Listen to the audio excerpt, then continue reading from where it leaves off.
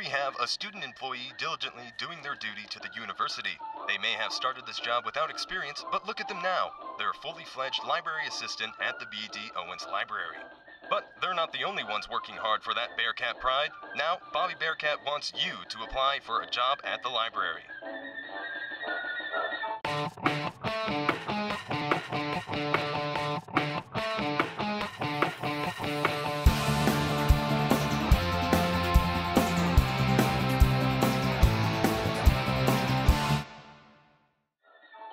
Let's start out by dispelling some misconceptions about working at the library.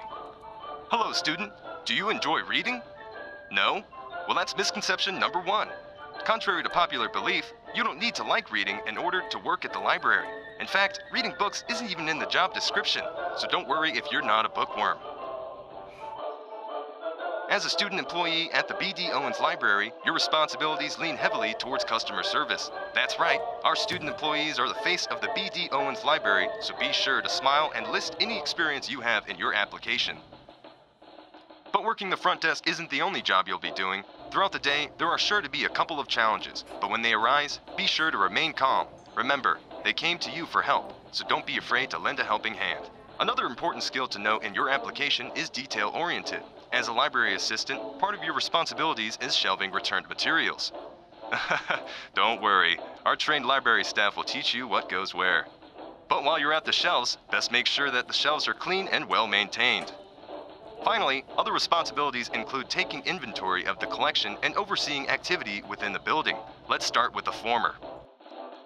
Taking inventory is an essential and vital task for library assistants. But fear not, it's not as difficult as it may sound. In short, taking inventory is simply making sure that all library materials are where they are supposed to be. This copy of The Art of War doesn't belong in the children's section. Let's put it back where it belongs. Moving right along, oversight of activity in the building is very important. As the face of the library, students and guests will come to you with any questions they may have.